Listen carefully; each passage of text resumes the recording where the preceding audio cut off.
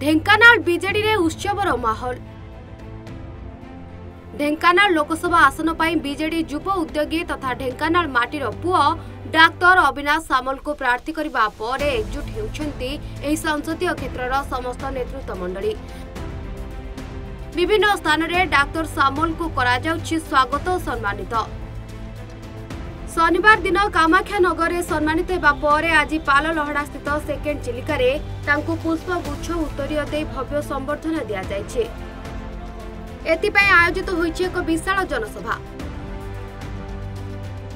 BJD পর্যবেক্ষক কুনু বিহারী দাসক উপস্থিতিরে বিধায়ক মুকেশ পাল পাললহড়া ব্লক অধ্যক্ষা সীমারাণী নায়ক কণিয়া ব্লক অধ্যক্ষ রামকৃষ্ণ প্রধান কণিয়া ব্লক সভাপতি কৈলাস সাহু ବହୁ ସରପଞ୍ଚ ଓ ସମିତି ସଭ୍ୟଗଣ ଅବିନାଶଙ୍କୁ ସ୍ୱାଗତ କରିବା ସହ ସମ୍ବର୍ଦ୍ଧିତ କରିଛନ୍ତି ଏଥିସହିତ ଡାକ୍ତର ସାମଲଙ୍କ ବିଜୟ ଢେଙ୍କାନାଳକୁ ବିକାଶ ଦିଗରେ ଆଗେଇ ନେବ ବୋଲି କହିଛନ୍ତି ଉପସ୍ଥିତ ନେତୃତ୍ୱ ମଣ୍ଡଳୀ।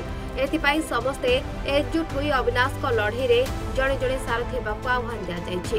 ଏହି ଅବସରରେ ଡାକ୍ତର ସାମଲ ପାଲଲହଡାର ବିକାଶ ଦିଗରେ କାର୍ଯ୍ୟ କରିବାକୁ ପ୍ରତିଶ୍ରୁତି ଦେଇଛନ୍ତି।